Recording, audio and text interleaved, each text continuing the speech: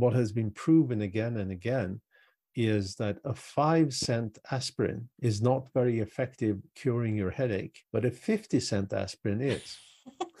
Good morning and welcome to another episode of Better Business, Better Life. Today I am joined by Per Sjöfors, who is the founder of Sjöfors and Partners Inc., but more commonly known as the Price Whisperer. And he will explain where he got that moniker from in a moment. Thank you so much for joining us. Per is actually over in, in, California, is that right? Yes, I'm in uh, I'm in Los Angeles, and it looks like we. Uh, well, first of all, thank you so much for having me on the show. Um, but it actually looks like we may get a little bit of rain, which is the first rain we've had since February, I think. Wow. Yeah. So um, things must be pretty dry over there then. It is pretty dry, dry and and uh, uh, and and uh, you know water is running low, so we're not yeah. allowed to um, uh, to water our yards anymore and stuff like that. So wow, it reminds well, me of being back in Australia. We had similar kind of challenges over there regularly in Australia. Yeah, that's right. That's right. And um, so so anyway, everything is dying, and um, but but you know, and it's and and it's hot. I mean, the hottest little corner in um, in LA, and and this week we've had up to about forty four degrees. Wow. Yeah. So today's been only forty. I'm, I'm, i have to say I'm not envious because I don't like really hot heat, but it, it, sounds like at least it's um yeah it, it's it's not cold. It's not cold and it's not wet like no, we are over here. So no. that's good. yeah. Okay. No, so um we've just had a bit of a chat before we came on this podcast, and you've obviously got a very fascinating story. I wonder if you might start to share some of that with us and also tell us, you know, what you're most proud of professionally and personally in your life so far. Yeah, the the um I actually have a I mean my I have a background of of um, first an engineering background and then an MBA, but the the uh, my entrepreneurial um, journey, if you want uh, want to call it that, started really. Uh, I'm Swedish from start, and um, I had the opportunity to. I worked for this company, and the owner of the company, um, and I was on the engineering side, and he said, um, "You need to go into sales." And he's told me that for a couple of years, and I said, "No, I can't do sales." Eventually, though, he convinced me. So um, we set up a company in Switzerland, uh, in in Zurich, and and um, I I had the um, I was scared out of my wits, right? Um, because um, I've never established a company before. I've never been a CEO before. I've never developed a European-wide uh, uh, distribution business, and I didn't know the language. Just a few challenges then. so, so one had to be a quick learner for sure. That's uh, and you know and that was was a lot of lot of work, of course, and um, as it always is. But but it was very successful. Um, and um, however, after about five years, when we, I think we were up to about seven, eight million in revenue, so pretty small but um, we um, I was then bought over actually by my main competitor, which was a Japanese company, and uh, I became CEO of their uh, subsidiary out of London uh, to handle the um, the European market, and and over over a three year period, I quadrupled sales. Wow! So um, that was, and I was. it was sort of funny. I um, I was known in the company as as the hardest worker in, in when you have a Japanese company, you know, wow. which wasn't really true because um, these these folks from from Japan they had you know they have a to do list for today, you know, with fifty items, you know, and they they didn't stop until they done all the fifty items, and I did the the six items that made any difference, you know. so, but um, but but that was fun you know and, and also to to get an insight into um the inside of a japanese company you know? Mm. um and um we um we always took our our best distributors to to japan and uh, travel around them in japan and so we saw it really from the inside you know? Okay um, but then eventually I, I um, was recruited to establish a division of a fairly large company, uh, a fairly large public company here in, in the US which I did. And uh, um, and, and and that was also very scary, you know, to suddenly be um, on on the management team of a again a, a you know a, a, half billion dollar company and, and, that is public, you know, and, yeah. and so forth. Um, but um, but the whole thing it went well, you know. Um, I took that division to about 72 million in two years. So um, and and and the um, the um, uh, I was very successful. Um, the company though died around me. You know, yeah. long story short, um, and and uh, I actually negotiated uh, to sell our division to Philips in Holland, and um, and the only, everything was done. Eh, we just needed the uh, the signature of of Philips CEO, and then he got fired. Oh no! Oh no! Boy, okay. Can, may I ask what happened then?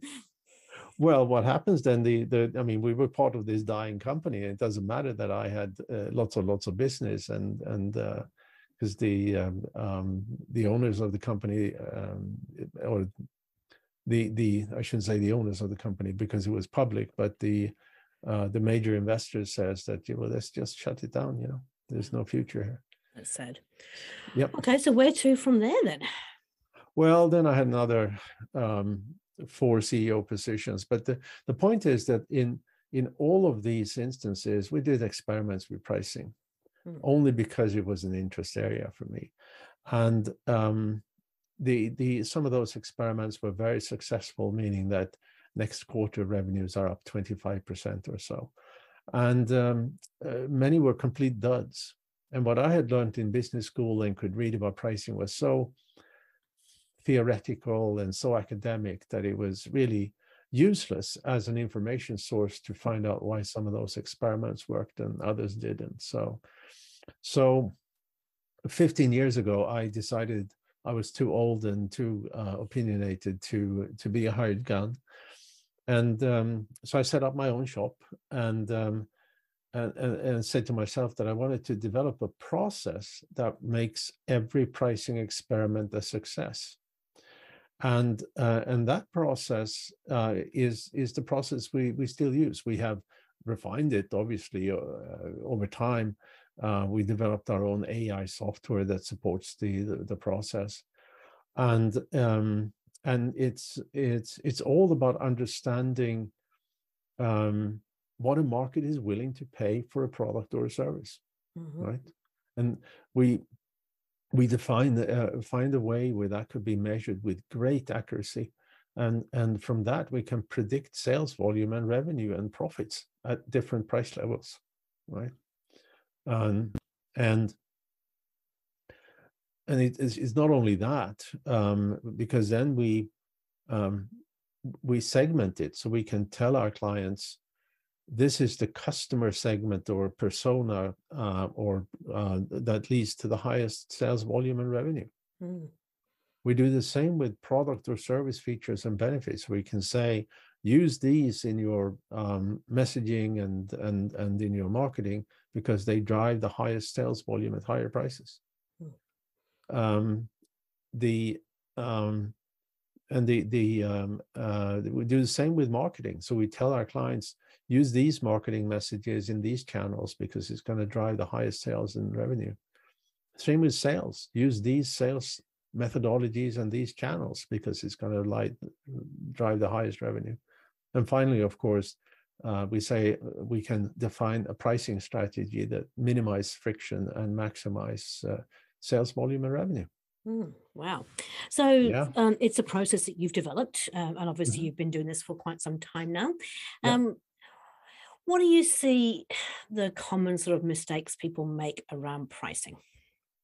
Well, um, the first one is really not to realize that pricing is is is a profit driver, mm-hmm. and and almost all companies we work with um, are underpriced, right? Mm-hmm. And and um, um, just to give some recent examples of underpriced companies, um, we uh, and this is using this um, uh, methodology of, of of measuring willingness to pay and predict sales volume and so forth. Uh, one company we took from an annual revenue of about 200 million to 250 million in three weeks. Three weeks. Three weeks. Yep. Um, uh, another one, a small company, we took from about 15 to um, 15 to uh, uh, 35 million. In that took six weeks roughly. It was more complicated to do the measurement.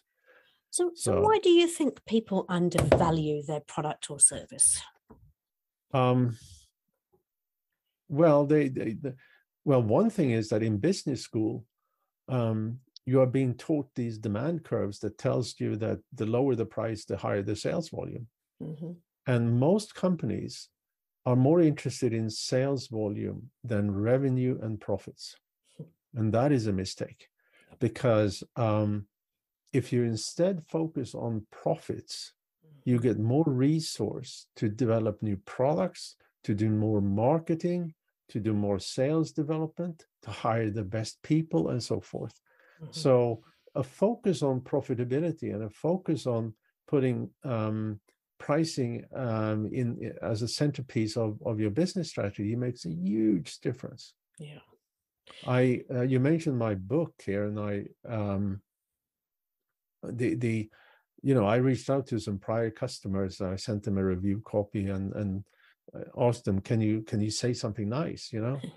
and one company, um, Jim and Eric, came back and he said, "Well, Per, uh, you helped us grow from a 100 million to over a billion. Thank you very much. By putting pricing in as the centerpiece of the business strategy. Yeah. And I think what you're saying is absolutely right. Is, you know, once you get, if you focus not on the top lines of revenue, but on the profitability, it enables you to create, it's a self fulfilling prophecy, right? You're creating a better business, you're creating better, um, everything gets better because of that. And therefore you can continue to oh, absolutely. be sustainable. Yeah. yeah. yeah and and other other mistakes people do is uh, you know they look at their cost and then they put some margin on and there's typically in different industries there are different rules of thumb right um, some companies try to look at a competitor that um, could work if the competitor has has pricing in public but if it doesn't it's almost impossible to find what they're charging. Yeah. Um, and and by the way if you that is typically the first step into the commoditization death spiral yes. so, so um yes and which you want to avoid. Absolutely. It's been interesting because when i work with businesses they're often concerned that if they do put their prices up that they will lose customers. And mm-hmm. there is a mathematical equation that sort of says hey sometimes putting your prices up you lose even with losing customers you still end up being a whole lot better off long term oh, yeah. right yeah i mean that that that absolutely that's our business and and because the price um, if you if you price yourself too low mm. um, you get um, you know people look at the price and say this is so cheap it can't be any good mm. and i mean we've all been there you know we hold something in our hands and we say i kind of want to buy this but this is so low that this is the price is so low that i'm i'm going to pass this can't be any good yeah. right we do it when we buy cars we do it when we buy it's, it's all about it's all branding really isn't it at the end of the day you if it is too cheap you think well it cannot be a good quality um, it yeah, can't be right. looking for yeah. yeah. okay so when you start working with a business um, where do you start oh um, it's always to to to understand understand the business um, mm-hmm. and and um, like like in but but it's since what we do is all external to the business, we need to understand how they see their market, how they see their buyers, and and their product and services. We do not work with with sort of internal processes and stuff like that, you know. Mm. So um, the the and that's why we have like I, this, you know, like I mentioned, we can kind of turn around the company on in three weeks, mm. right? Um, because nothing changes in the company. You just adjust the prices, right? now you're making it sound all very very simple but there's obviously a little bit more behind it tell me a bit about uh, can you give one of your um, examples of the business that you've worked with and it's a little bit of insight into how you did you know three weeks i've heard you mention three weeks six weeks very very short time frames yeah um, can you give a little bit of insight into you know what you do with them to get those results without giving away the Well, secret sauce. Yeah, yeah, of course. I mean, the the, the um, I, I mentioned that we we um, we do willingness to pay research, Mhm. which is um, a kind of market research, but in a very different way. Right. And um, and we we have measured, we have developed a whole. In that, we do a whole series of of open-ended questions where we ask our clients, it's not our clients, we ask the the people who who um, um, who we poll, and this is all uh, done online, of course. Mhm. Uh, we ask them to equate value and price, right? So, uh, what what how they value different price points and and and um, and what what prices are too um, too cheap and too expensive and so forth, you know Mhm. and and then we feed that into um, into that um, uh, AI software that we developed. That Yeah. some guru said we should call it quicker growth software, but I think that's hokey. um, and and and but then I have business people that look at the data that comes out Yep. and and make human sense out of it, Mm. right? Um, because we we need to be very very specific in in our um, in our recommendations, you know. But from from a um, uh, from a from a company point of view, it is um, you know we take four man hours, you know, to do do one of these projects Yep. And and maybe six on the outside but uh and this is spread over several people over over over some time you know Mhm. and and and then if if it's just as simple as as just adjusting prices as the two examples i gave you then um then um then then it's just changing the price on on on a website or in a price list that doesn't take any effort at all Interesting though. uh, I, I actually, I don't know if you know Dr. Rob Adams, who's over in the US. He, he's a specialist in market validation. I actually trained under him and we do a lot of market validation work. And it's not as simple as asking people what they're prepared to pay, is it? Because No, no, they'll no, often tell You you something never- completely different. You can never ask what somebody is is willing to pay because they Yeah. will lie. you yeah, know they do. They, they they make it up. Yeah. yeah, yeah absolutely Yeah. just the, the same thing as you cannot um you cannot ask people what do you intend to do Mm, yeah. because you never they they They don't know. they will just make it up Mhm. right but you can reliably say what have you done in the past because people will continue to do the same thing Yeah. you know and uh, you know i i, I think it's funny i i see these um uh, surveys some sometimes you know and, and you know like when when you go to some of these trade shows they say what are you going to buy next year i just fill in something you know it's just yeah. and then they use this um to to uh and then it's like 86% of Yeah. attendees say they're going to buy x. you know So as they use it as data to prove their their model. yeah exactly yeah No, it was fascinating. I mean, I must admit, um, people always sort of think they can do this kind of work themselves, but it's a very, very specialist skill. I mean, market Mhm. validation, pricing validation, I mean, you have to be able to ask the right sort of questions. Otherwise, oh yeah you're actually just going to get answers that you want to get, but they may not be the right answers. That's true. Um, but the the um, you also um, I mean there, there there's tell you a story here. Um, the the uh, um, I had a conversation with the CEO of a, a SaaS company. They do something called a um, contract management software, right? Mm, um, and and uh, this guy said, um, "I've decided," he said, um, "price is going to be hundred sixty-five dollars a month per user." And then he continues saying, um, "But I don't know if that's right. Maybe it should have been ninety-nine. Maybe it should have been two hundred fifty. But hundred sixty-five just felt right. It felt good." How much money is he leaving on the leaving on the table? You know, Yeah. massive amount of money Yes. right? Just because he he he said, "Well, feel good pricing is right for me." But it comes down to what value does that software actually provide and how what, uh, Exactly, yeah, do people place on it? Yeah. Yeah, correct. And and and um and the and and that's a perception of value. There's another interesting thing um if um in in in you know in in the little price community if you like there's something called economic value pricing. Mm-hmm. this is um um something that you you do when you're selling b2b the seller is supposed to understand uh, the the exact economic value that you provide to the buyer right? Mm-hmm. now that requires the buyer to open up the kimono and tell everything to the seller right? Yep. And then there's a lot of assumptions that you also have to make. And i and and again within that pricing community this um, economic value pricing is the is the is the silver bullet to pricing right? Mm-hmm.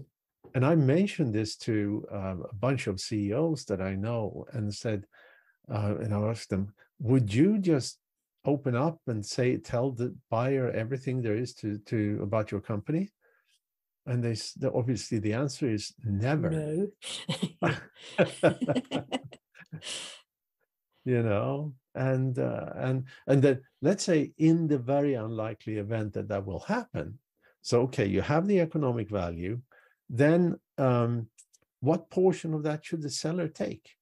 5% 10% 50% guessing again you know yes oh, so tell me a little bit about your book, because I'm I'm very interested in the AI stuff, but I'm also interested to hear about this new book that you have just written. So this is obviously based on, I'm guessing, on all your experiences over the years. Yeah. And um, it, tell me a little bit about it. Yeah.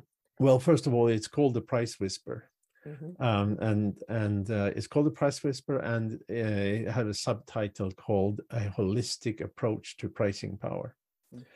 and um, it's the the the AI piece is is really something that that is is used in the back office, you know. Yeah. Um, but it it it it talks in detail about everything there is about um, understanding that holistic approach, the understanding something called the decision landscape, that that is is is really how we people make decisions. Uh, and specifically buying decisions. Um, there is a there is a uh, actually a, a, a an ac- academic field called behavioral economics. So we are we are leaning ourselves on three Nobel Prize winners, and um, and and to be honest, I defined this uh, process that we're using uh, then 15 years ago when when it was time to set out on my own. I only learned about behavioral economics five years ago. And, and then I realized that what we are doing is the is the practical implementation of behavioral economics, right? I mean, for example, um, we talked about underpricing ourselves. Um, what has been proven again and again is that a five cent aspirin is not very effective curing your headache, but a 50 cent aspirin is. Same aspirin, right? Same aspirin. you know? Mm, yes. Something called expectation bias. Yeah. Ah. So um so and and the book is really everything there is to know about pricing. Every, the the actually not really everything because I've just started on the second edition because there are a few things I, I want to add. Yeah. Um, but um, it's about the importance of of understanding that um, uh, decision landscape. It reviews the uh, background in in behavioral economics. It talks about the precise process you want to use to um, set uh, set prices right and so forth. And it also have um, a few other things you can learn things in your company by doing uh, stuff that um, um that, that is related to your sales transactions and your processes and i'm talking about that too okay um, but um, uh, it's it's um, it's a it's an amazon bestseller Yep. Um, and and that's only the Kindle version um, that came out in in early August. The the print version is coming out in early November. Okay, great. So they can get it uh, obviously from Amazon. That's where people can find the book. Yep. Yep. They can yeah so um, so that's the um, um, and and I mean it's 300 odd pages. Yeah. Yeah. Okay, so it's like a step step by step kind of guide into understanding behavioral economics and what effect that has on your pricing. Um, yeah, the, the behavioral economics is, is sort of um, the academic background, and and and and then it's all about uh, how do you implement that in so it's a practical pragmatic version of it yeah that is what that is what we are about i love it i love it hey i'm really interested i'm not sure if you can actually answer this or not but obviously for you to get these results for your clients you are um, putting in place price increases what about the mm-hmm. communications around that because this is where most people are fearful. It's like, oh my goodness, if I write to my clients or talk to my clients and tell them the prices are going up by X, um, it's going to be disastrous.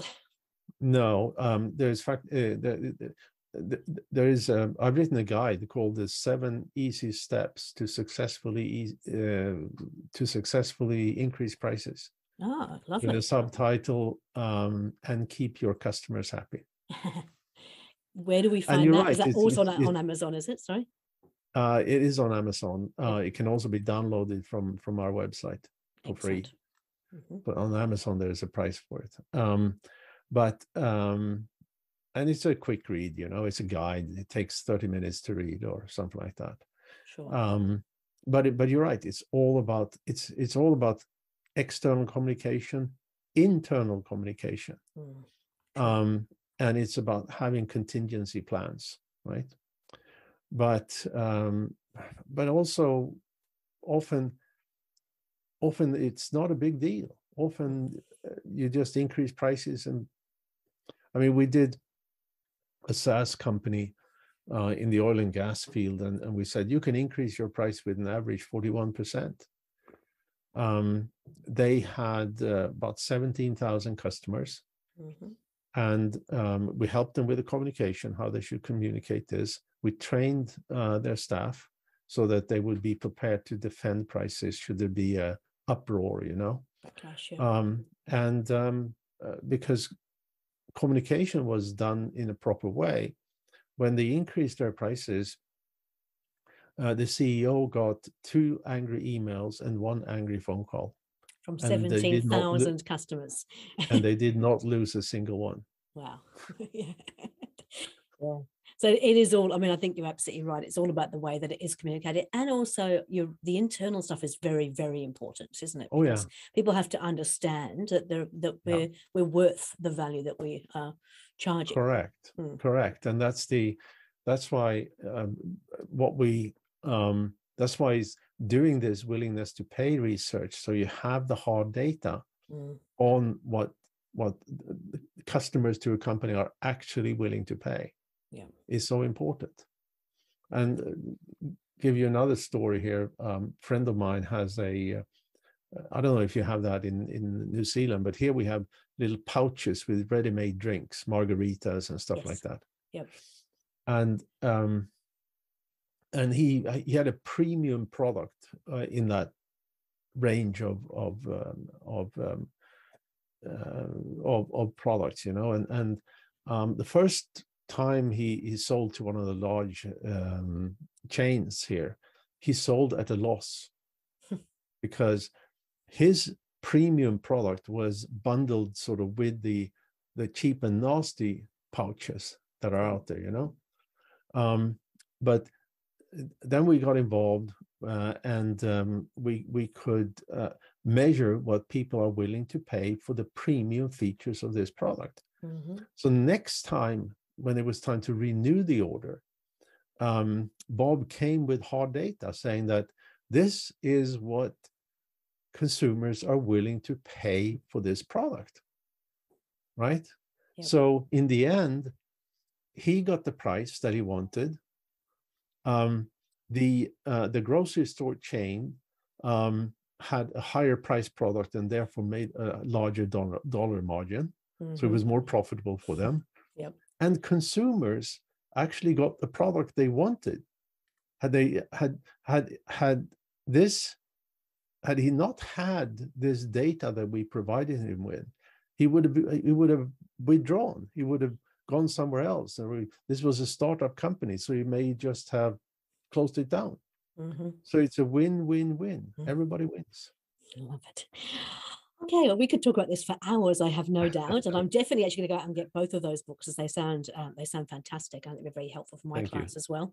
But I'd love to know um, three practical kind of tips or tools that you could share with the listeners that they can put into place in their business. Well, um, if you if you well, first of all, um, and I um, I mean, increase your price. yes. I mean, just go and increase your price and and and um, and have contingency plans. And if somebody um, if somebody complains, you know, grandfather them in, and then uh, that's it. You know. hmm um, and and this goes. There's a famed VC called um, Andreessen, um, and um, and he he was asked that same question. You know, what is what is your most important advice to startups? And he said, increase your price, because that's when you need the money the most, right? Yeah. Um, second is um, if you're a small company, um, you, you it's not really feasible to do the kind of work that that that, that we do, you know. Yep. Um, the the but there, even if you're a solopreneur, you know, there there's ways you can uh, figure out the right range of your price, right? Mhm.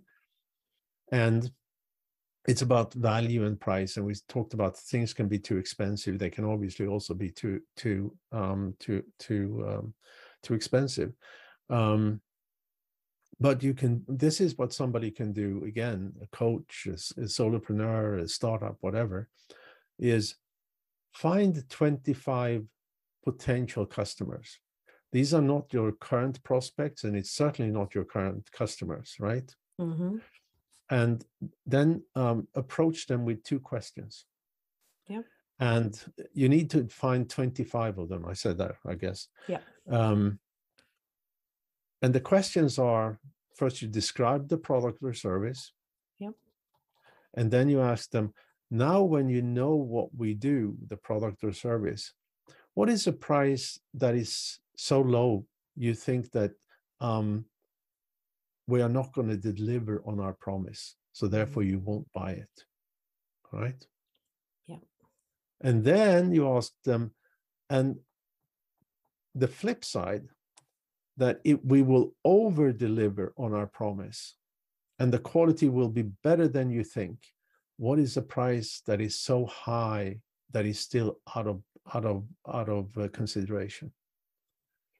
When you talk to 25 people, Yep. you take these um, the average of the price points that you got you have the range of where your price should be Mm, Nice. not below that and not over that Yep. right Okay. and then if you of course want to put the price towards the higher end because that's where you're going to have the higher profitability Understand. So most of our listeners are slightly larger in terms of they are, uh, you know, they're, mid-sized. They're not they're not the large US companies that, that you tend to work with. But um, Mhm. what would you recommend for those companies? well um, if i blatantly is to hire me Absolutely. Why wouldn't you? If you can Yeah. add, what was it? You can take it from 200 million to 250 Yeah. million in three weeks. Um, why would you not? Yes. Yeah. well uh, i mean for your audience in new zealand we have we have done some uh, we've done work for a few um, well-known uh, new zealand based companies so i can't mention any names here but no, um, yeah, but we've, we talked about it um, beforehand, so I know who they are. But yeah, Yeah. um, and that's great because you obviously your, your organisation is actually global, isn't it? So you've got people around Oh, the world yeah, who yeah. can work with anybody around the world. Yeah, we we just finished off a um, a project for an Israeli company where we did the the the actual willingness to pay, pay research in in South America, Africa, and Asia. Nice, So yeah, we we're all over the place. fantastic. Okay, so what is your ideal client? What do what do you um? Yeah, the, you like to work with? the yeah the, uh, the most of our clients are sort of in the I would say five to ten to up to about two hundred fifty million. Yep. You know that kind of range. Yes. um, and the reason is that if you if you're a much bigger company um, you typically call up the mckinseys or deloittes of the world you know hmm and and and uh, they often deliver a stack of paper half a meter high, hmm. and and and I've had more than one conversation that uh, with the CEO saying that I have a half a meter stack of paper that props up my door because I don't know what to do with it. Yep. so, so and uh, and we we are bringing we are almost always brought in when there's a change in the company. Sure. Um, when when and when there's maybe a new investor, when maybe there's a acquisition of some kind, and and there is a sense that it's time to move the company to the next level. Mm-hmm. You know. Yeah. Um, we can't soldier on as we've done. We need to we need to really grow spectacularly for for for uh, shareholder value for you know to give more value to our clients to hire more people and all sustainability you know. yeah fair enough great hey well look um really really helpful this information you shared here. Just to recap so we've got um, I've got a couple of books you recommend people. First of all the price whisperer which is yep. on the amazon bestseller list on kindle and about to release the book in early november. Then you've got your seven easy steps to increase it? prices. Increase prices and that was uh, and, and, and, keep, keep your customers happy, customer happy yep. yeah. So those two books definitely recommend. And if people wanted to get in contact with you how would they find you and what's the oh, website yeah the the, the best way of finding me uh, is eh, just do a google search on the price whisper yeah and um um i i have a uh, uh, i have a youtube channel there there all sorts of guides and all sorts of uh, information. There's a masterclass in pricing on the website. Um, and uh, you find all of that by just Google uh, the Price Whisperer. Price Whisperer. Love it. Yeah. Yeah, really appreciate. It. Well, look, thank you so much for your time. Uh, really appreciate you sharing your knowledge and wisdom with us. Um, and I'm looking forward to reading both of those books. All right, thank you so much, Deborah, and thanks. Uh, I hope the audience find it um, interesting and, and valuable as well. I have absolutely no doubt they will. Enjoy the rest of your afternoon. Thank you very much. Thank you.